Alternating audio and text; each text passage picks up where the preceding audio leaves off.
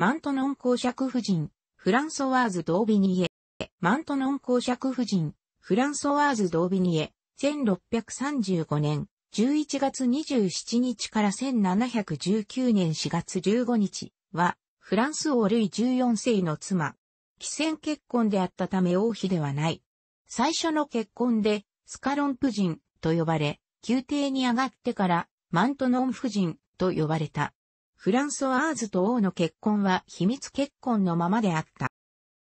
1635年11月27日に生まれたが、出生地は憶測の域を出ない。ニオールにある正門邸はフランソワーズの出生地を示すプラークを掲げている。フランソワーズの敵や批判的な人々は彼女がニオールの監獄で生を受けたと主張する。フランソワーズの父親であるコンスタン・ドービニエは、ユグノーで1619年に最初の妻を殺害して逮捕された前科があった。その後、イングランドと共謀して、リシュリュー枢機卿に対する陰謀に加担して、投獄されていた。母ジャンヌ・ド・カルディアックは、監守の娘であった。フランソワーズの父方の祖父、アグリッパ・ドービニエはよく知られた、ユグノー、プロテスタントの将軍で、アンリ4世のお屋敷友であり、東大切手の詩人であった。母ジャンヌは、自らのカトリック信仰に従って律儀に赤子に洗礼を受けさせた。大父母となったのは、ヌイアン伯爵夫人とロシフ公公爵、フランソワ・ドラ・ロシフ公の父あった。1639年に、父コンスタンは釈放され、家族と一緒にマルティニーク島へ向かった。彼は1635年以前に商人らとマルティニークへ渡った記録がある。一家は島北西部のサンピエールで暮らした。12歳まで過ごしたマルティニークの思い出は彼女に鮮やかな印象を残した。当時のマルティニークはドミニカ島のカリブ族からの絶え間ない襲撃にさらされ続けていた。ジャンヌは厳格な母親で子供たちにわずかな自由しか与えず子供たちにカトリックの洗礼を受けさせながらも、ユグノーとしての教育を授けた。コンスタンは公式には、近くの小島マリーがラント島の知事ということになっていたが、この肩書きで彼は認知されておらず、肩書きによる元でももらうことはできなかった。マルティニーク島は太古からの手付けか綱状態のままで、第一に島を治めていたのは、島の9割を占める森林で暮らす先住民とフランスやスペインの商船を狙うカリブ海賊たちであった。フランソワーズの一家は事実上貧困状態で生きながらえており、一方でバルバドス島のイングランド人たちはすぐに富を得るようになった。この時代にフランソワーズはベル・インディエンヌとあだ名が付けられていた。マルティニーク島へのサトウキビ栽培導入が失敗に終わる一方で、バルバドス島では1640年代以降非常に利益を上げるようになり、タバコ栽培農家排除が起こった。その後1645年、父コンスタンは妻子をマルティニークへ残したまま、知事としての肩書きの認定を求めて、フランスへ帰国した。母は子供たちにとって、いつまでも両親であろうとし、2年後の1647年に、直ちに帰国して、父と合流したが、帰国して、わずか1ヶ月で、父が急死し、母も高い、フランソワーズは、オバビレット夫人のもとへ預けられた。ミュル製にあるビレット家は、父が釈放されるまでの短期間に、おじ夫婦から世話されたことのあるフランソワーズにとって、幸福な思い出となった。ビレット家は、フランソワーズの家族よりも裕福で子供たちの面倒をよく見たが、彼らは熱烈なユグノーでその心情に合わせた学校に、フランソワーズを通わせた。このことが彼女の大父母らに知られると、フランソワーズは女子修道院で教育を受けさせるべきと命令されることになった。フランソワーズはの女子修道院での生活を嫌ったが、修道女の一人セレストに大事に愛されて育ち、彼女の説得で初めて生体を受けた。フランソワーズの大母、ヌイアン伯爵夫人、シュザンヌの母親は彼女をパリへ連れて行き、知識階級の人々に紹介した。彼らがフランソワーズの必要とする将来との重要なつながりとな。ヌイアン夫人との道中、フランソワーズはポール・スカロンと出会った。二人は面会後、それぞれ調和するものを感じた。スカロンはフランソワーズより25歳年上で、リウマチ性の関節炎によって身体障害の状態にあった。二人の組み合わせは良い縁談と目論まれたものではないが、貧しく資産のない天外孤独の少女には選択の余地はなかった。しかしスカロンは彼女が女子修道院へ修道女として入ろうとしたとき、自分が持参金を払うので結婚しようと申し出たのである。フランソワーズはスカロンの申し出を受けて、1651年にスカロン夫人となった。彼との9年間の結婚生活で、フランソワーズは夫の看護師であり、マレ地区にある夫の社交サークルの女主人となった。この時代に彼女は文筆家や基地に富んだ人々、モンテスパンプ人、ニノンドランクロ、ボンヌ・ドゥディクールらと面識を持った。ベル・インディエンヌは、スカロン作品の第2期に影響を与えた、作中、頻繁に西インド諸島やマルティニークへ行く必要性に触れている。喜劇作家スカロンは大真面目に、マルティニークとの貿易を行う商社に3000ポンドの投資を行っていた。若い妻を喜ばそうと、あまりにも聖域に彼を模倣した作品を削除することにも同意していた。1660年にスカロンに先立たれると、王太后、アンヌ・ドートリッシュは未亡人フランソワーズに対して年2000リーブルに年金を増額して与えたため、彼女は文学サロンに残ることができた。しかし1666年に王太后が病没すると、ルイ14世はフランソワーズの年金を中断させたため、再び困窮した状況に置かれると、ポルトガル王妃として、入れの決まったヌムール公爵令嬢マリー・フランソワーズの助官として、リスボンへ向かう支度を始めた。出発前彼女は、すでに、ルイ14世の秘密の愛人であったモンテスパン、夫人と出会った。フランソワーズのほがらかさや、慎み深さを知るモンテスパン夫人は、ルイ14世に頼んで、生活に困るフランソワーズがパリに泊まり、ポルトガルに行かずに済むよう年金を復活させてやった。1669年、ルイ14世とモンテスパンプ人の第一子が誕生すると、モンテスパンプ人はフランソワーズに給料を多く与え、ボージラール、現在のパリ15区にて、秘密裏に王の諸子を養育す、召使いの一人にした。フランソワーズは家庭内での自らの役割を果たし、よりよく家庭を守り慎み深く努めた。彼女は母性ある人物で王の諸子たちを大きな愛情を持って接した。諸子で最も年長のルイーズ・フランソワーズが溶接した時、養育係のフランソワーズは悲嘆に暮れた。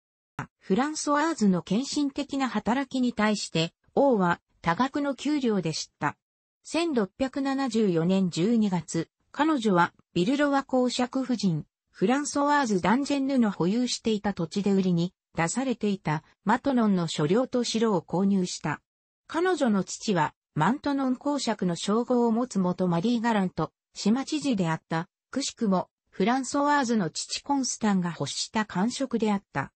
はじめボージリアールの邸宅で育てられていた王の諸子たちは、この後はマントノン城で暮らすようになった。1678年、フランソワーズは、ルイ14世から所領にちなんで、マントノン公爵夫人の称号を与えられた。これでフランソワーズは、スカロンの名を上回る称号を持った一方、このようなルイ14世の引き立てが、モンテスパン夫人の嫉妬を買った。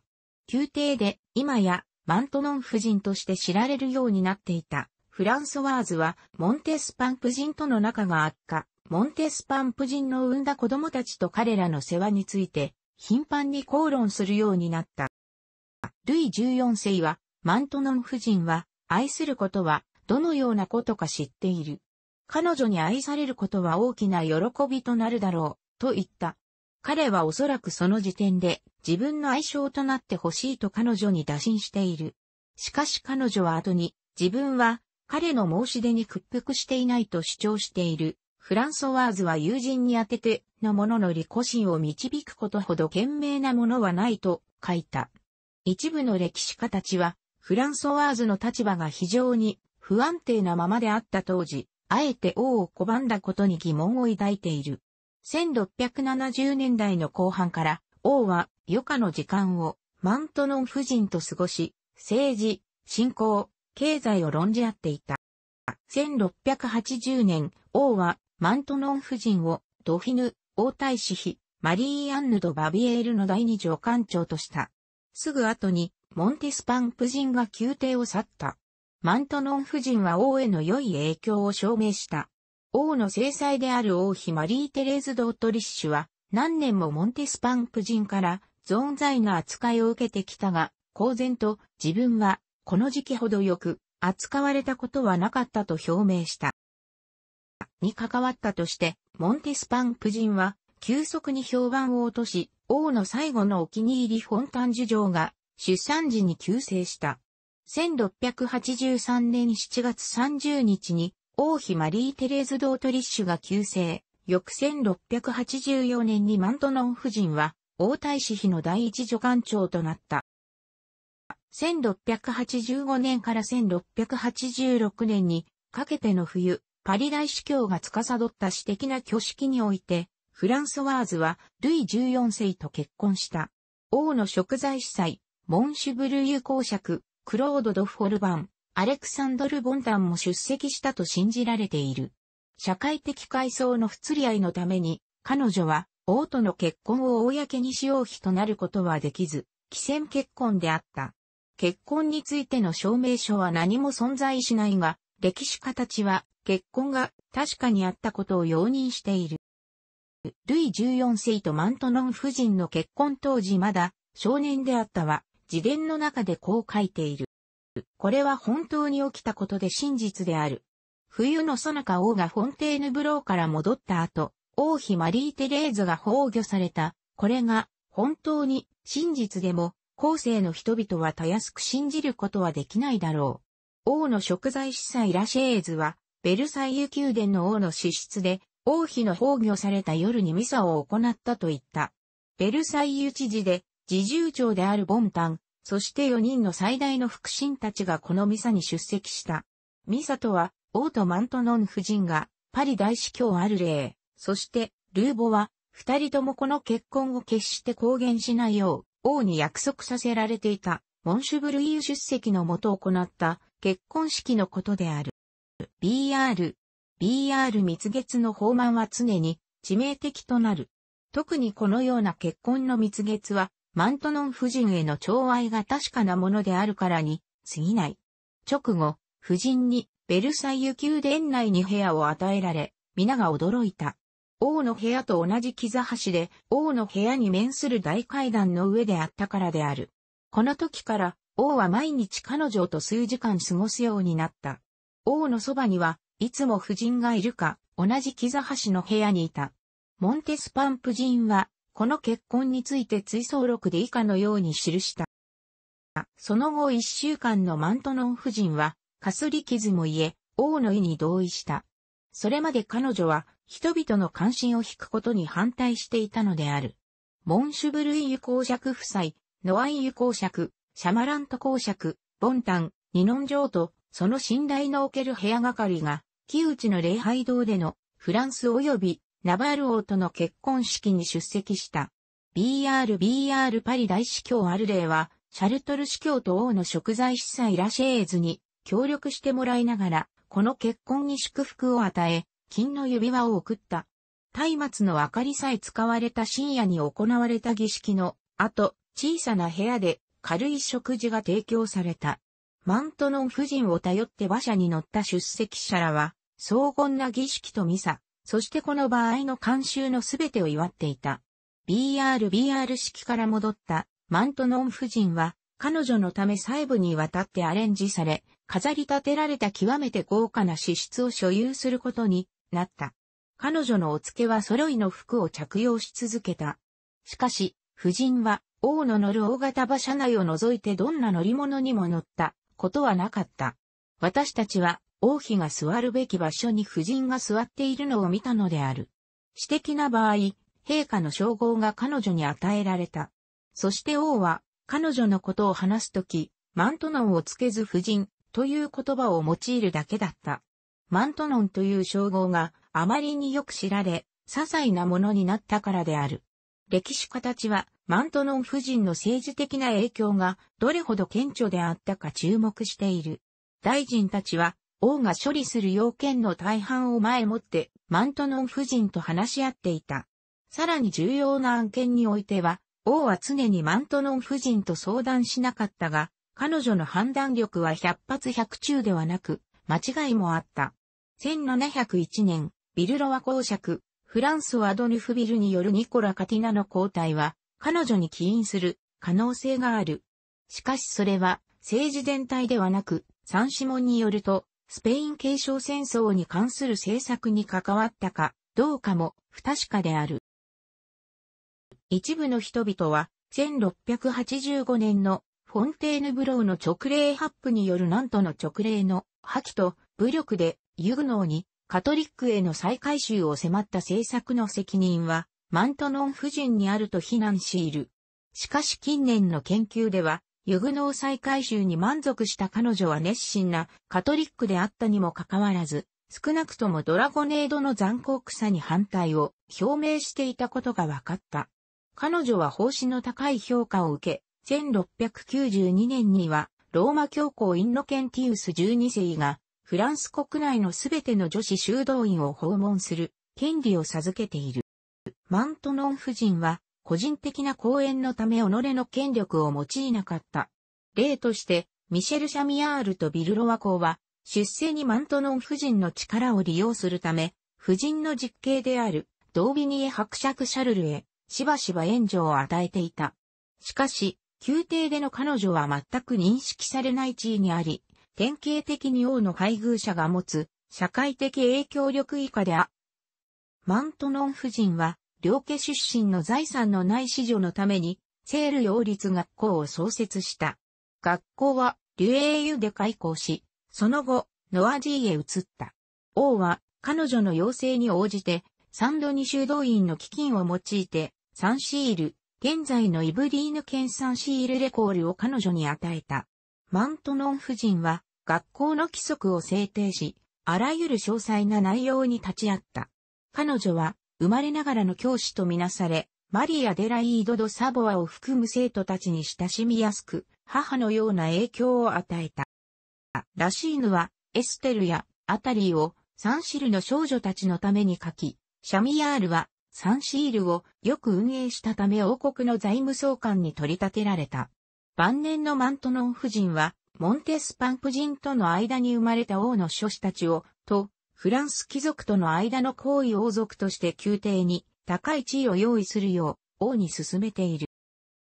1715年のルイ14世の死を前にして、彼女はサンシールへ引退した。摂政であるオルレアン公フィリップ2世は彼女に4万8000ディーブルもの年金を与えて、彼女に敬意を表した。彼女はサンシールで訪問者を迎えていた。ある朝、マントノン夫人がサンシールで目覚めると、ベッドの足側にある椅子に、長身の男が腰掛けているのを見つけた。驚きながらも、彼女は彼が何者か分かった。彼はパリで艦隊された非常に身分の高い外国の王族であった。彼が夫人が患う病は何かと尋ねると、彼女は、私は年寄りですから、と返答した。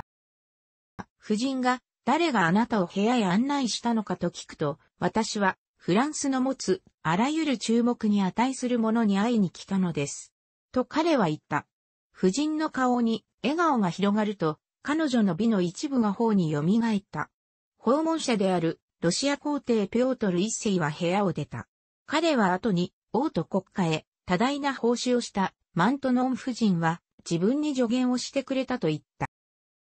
1719年4月15日、フランソワーズ・ドービニエは亡くなり、王立学校の教会内に埋葬された。フランソワーズの所領マントノンは、兄、シャルルの一人娘で命にあたるフランソワーズ・シルロット、ドービニエ、ノア友好アドリアン・モーリスの妻が相続した。マントノン夫人にちなんで、カナダのノバスコシア州ブルトン岬沿岸にあるロワイヤル島という小島がマダム島と改名された。